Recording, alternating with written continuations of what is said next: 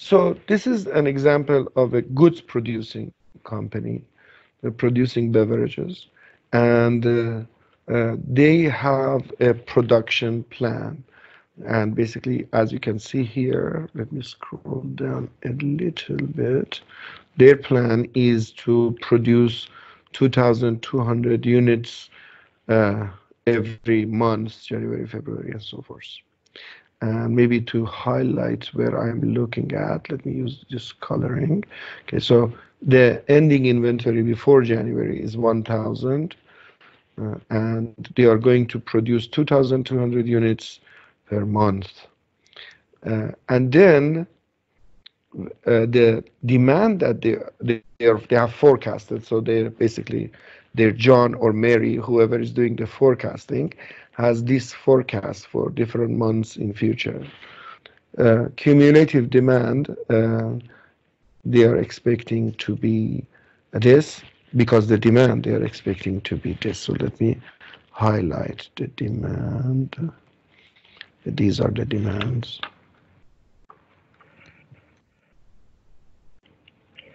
Okay. So they have some inventory on hand. They expect that the demand is 1,500 in January, but there would be a demand of 3,000 in August. Now, this company, and every company, any production of goods company, they have this question that should we have a flat production rate or we have to have varying production rate? Now, I want you to tell me what kind of company would choose to have a flat production rate and what kind of company would choose a different method which is called chase. This if you click on the other tab maybe i change the color of the tab so i can refer to it. Uh, like i make this one red. Okay. Red is chase. Okay. So in chase strategy every month they will have a different production level in level strategy, they will have a flat production level all the time. Now, my question for you is that what kind of company will choose flat strategy? Probably companies that don't make perishables or things that become obsolete quickly. Very good. They should be able to put it in the warehouse. Okay, not perishable goods. There is another parameter here, other than the nature of the good. Did you did you hear me say obsolescence as well? Um, yeah, like that's another version of perishability. Okay. But other than the fact is, you know, the product can get obsolete or can be spoiled. There is another parameter. Oh, like if the demand is seasonal or it fluctuates a lot depending on. Yeah. In this case, it is fluctuating. you see, it is actually fluctuating, 1500, 2600. But still, there are companies that even with this varying demand, they may decide to go for flat production level production. They would have the same level of production all the time. Uh, also, uh, we can also word it in a different way. Like for the company, it is not easy to change the capacity of their production. You know, if you are buying heavy machinery for your production level, then it's not easy for you to change your machinery such that instead of 2,200 units of car, you will produce 3,000 cars.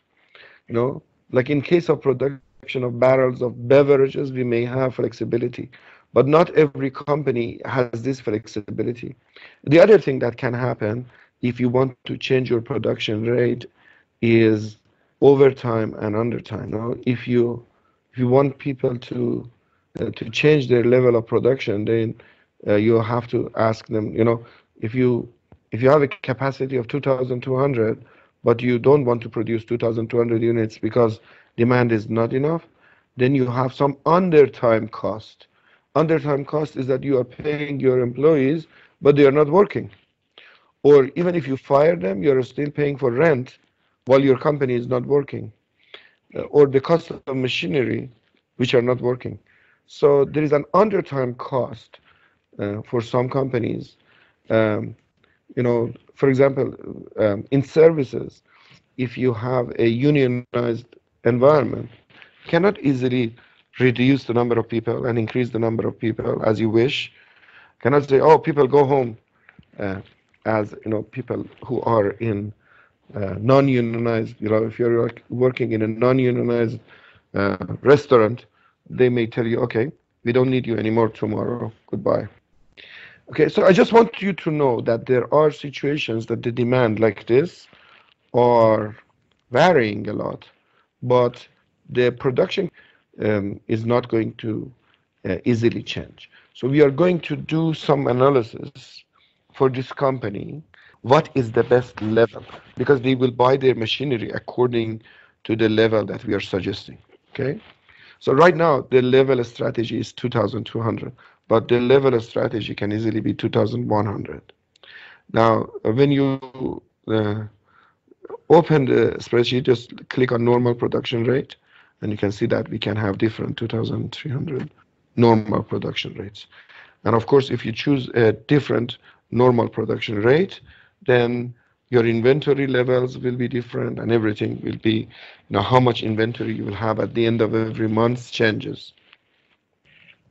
So you are going to Germany. Now that I don't know if our German uh, friend is still with us or has Yes. left. Oh, you are here? Wonderful. Yes. Okay. we always go to get the best machinery from Germany, okay? So we go there and we want to decide what is the capacity that is best for this company if they want to follow this flat strategy, okay? And that depends on how much is the cost of warehousing for us. Look at this. If I change this to 2,500, let's see what happens. If I increase my capacity, then there is no cost of lost opportunity because every month I'm producing 2,500 and are, I'm putting it in the warehouse. A little bit is being consumed and ending inventory. Look at this column. This is every month I have thousands of units of the product in the warehouse and it never gets uh, you know there is no cost of there is no customer that comes to my store uh, or to my factory that I cannot sell to them. However, if I choose a production rate of 2000 then yeah in some of the months of the year I have some inventory on hand and the disaster also happens like these two two months July and August are disastrous months because there are people who want to buy 1,100 units and I cannot sell them because we don't have inventory on hand. Uh, I'm producing 2,000 units in July and the demand is 3,200.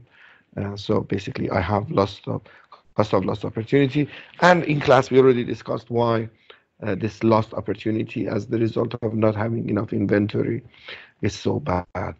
So, um, but look at this. If I choose to go to high production rate, yes, we don't have cost of lost opportunity, but because we always have end inventory, then there is some inventory cost for us. Okay. So this inventory cost in months of January is the result of the fact I have inventory at the end of the month in my warehouse. Let me show you why. Okay. Do you see the screen, all of the arrows and everything? Maybe not. Let me make it a little smaller. Yeah, so here at the um, in at the end of January, we had 1,000 units at the beginning of the month. We produced 2,500 units because I made my uh, flat rate, level rate as 2,500. So the total product availability was 3,500. The demand is 1,500. Therefore, 2,000 units are in the warehouse. The holding cost is 1.4 dollar. Therefore, I am accepting a holding cost of 2,800. I wanted to show you that if I if I have a very big level rate, then I will have a lot of inventory on hand. And you know, to produce those goods, I have a production cost of two million one hundred thousand, and I have an inventory cost that is that I'm now accepting. So my total cost would be the summation of these two. Uh, so my total cost of production uh, and holding cost combined is this much. How much money we are making here? So let's say I would write here the sales price is uh, production uh, plus that would be 160.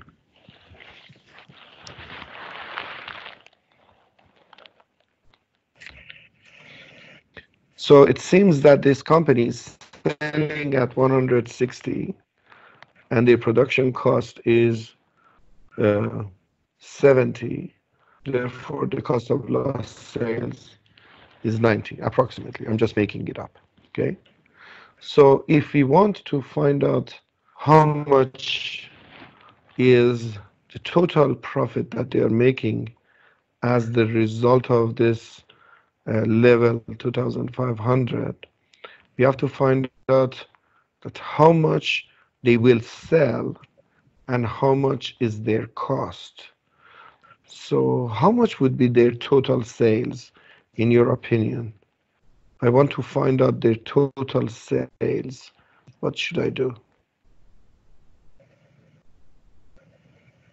Sum of, or it's just the cumulative demand in December times. Exactly. So so let's find out. Let's uh, you can sum all of this demand, which is here, or you can sum it yourself. This is always cumulative demand is sum of the all of the demands. Just let me show you. Sum. Do it. Oh, because it is Yeah. blocked. Yes. Okay. So this is my total, or we can use this one. But notice that if I change this uh, to 2000, um, this total doesn't change, but I have some lost sales. So if my, my production is less than some threshold, then I'm not going to be able to satisfy all of this demand.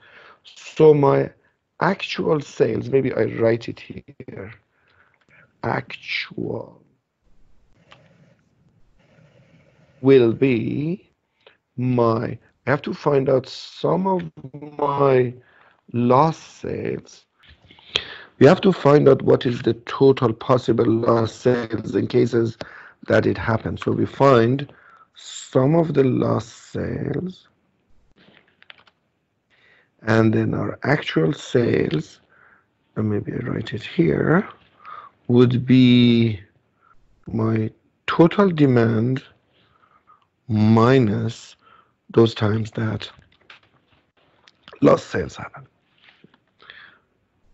Okay, so this is my actual sales, and if my sales price is uh, $160, then my revenue would be how much? My revenue would be this total sales multiplied by my selling price. This is big number, okay? And now my profit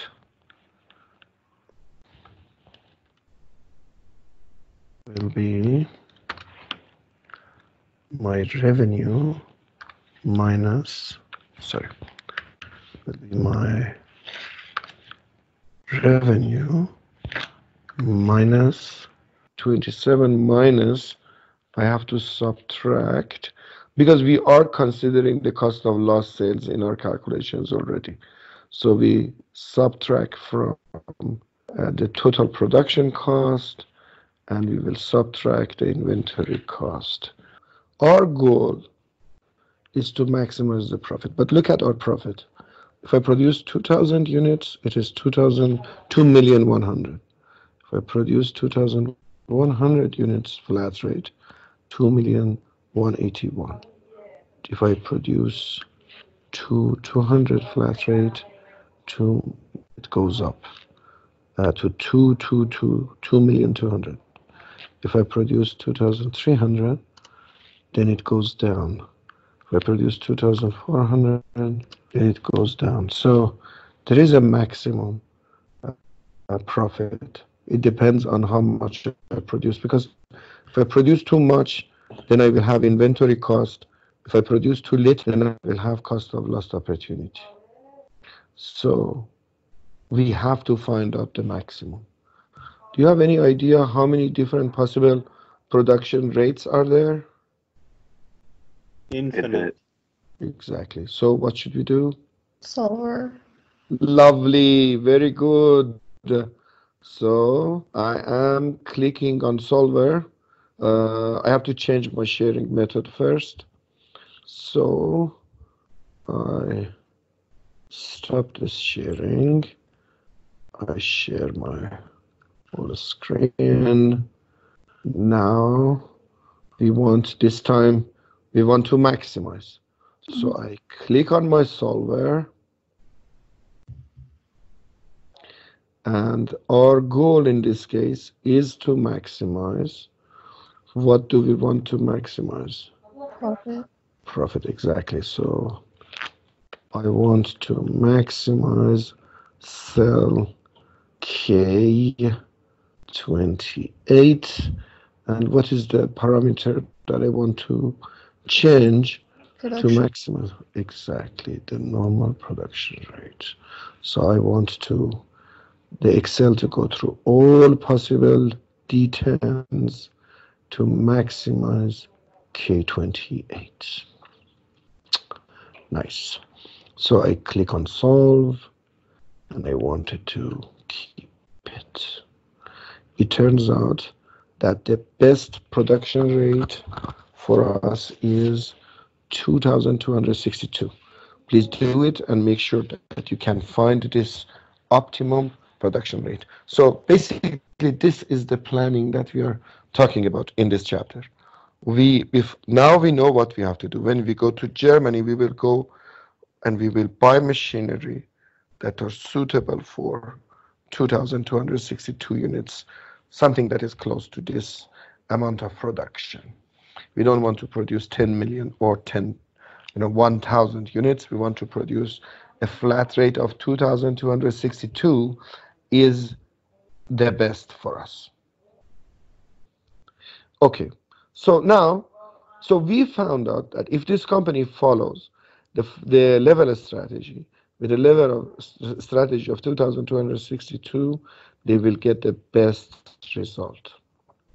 Now let's go to the chase strategy because also in this specific case, in the case of uh, the golden beverages, they have the opportunity to easily them to do overtime, undertime. So uh, for them, uh, the the total cost of following the chase strategy is that like basically the only thing that is here is that in January, the only novel thing here is that because they have 1,000 inventory units, maybe I highlighted, in before start of the work, they have 1,000 units. Therefore, in January, they just produce 500 units. For every other month, they just produce what is the demand.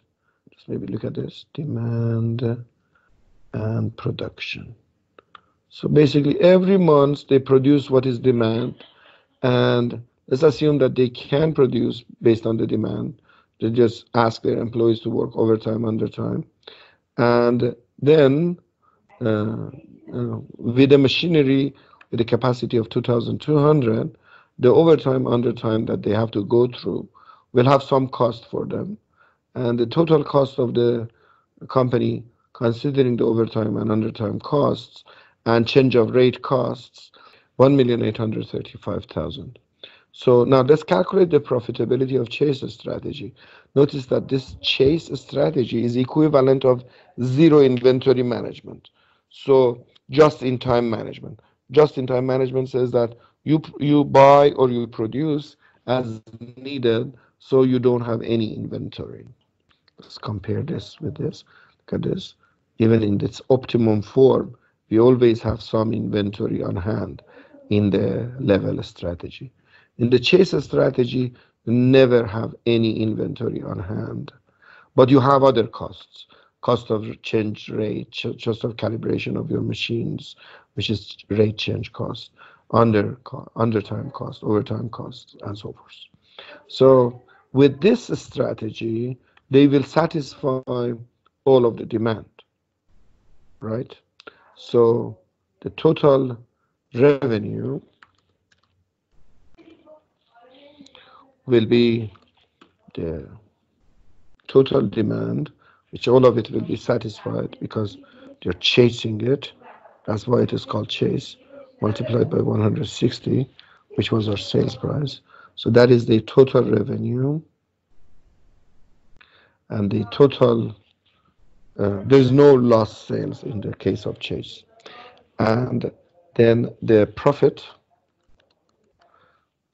their revenue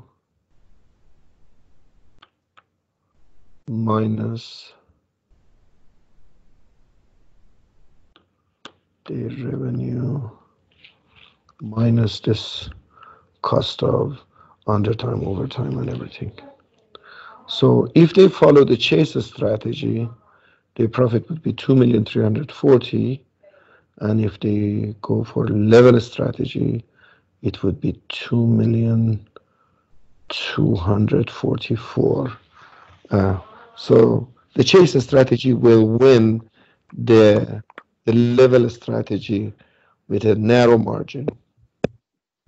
What do you have as your sales price for the chase strategy? I got it the same 160. Amir, can I see your profit formula, please?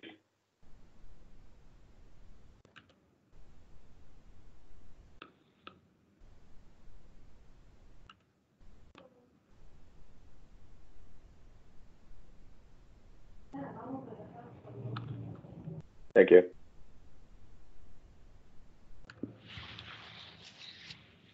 So now I want to show you something interesting.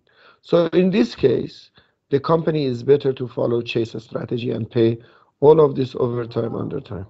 Now, you ask me why do we use all of these parametric calculations? Now look at this. If the holding cost goes down, the inventory holding cost goes from $1.4 to $0.4. Let's see what happens. Then the profitability goes to two million two two hundred sixty six thousand compared to two million three hundred forty. And if I it will change. So let me change this point four to point one as I'm reducing the cost of inventory, my profit will go up. The profitability of the uh, level strategy depends on the inventory cost Look at this. I reduced my inventory cost and I now go to chase a strategy. And let's say every time that they want to change the rate of production, it is not that cheap. Okay. I increase the, the rate change cost. Now the profitability in this case is going down.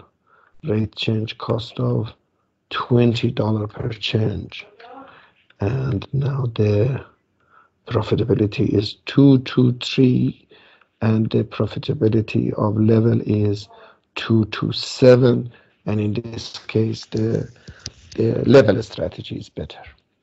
Okay. So um, you know each and every company in every situation depending to cost of production cost of holding cost of the goods that they are putting in the warehouse overtime and undertime cost uh, one of the two Uh, basically plans will work.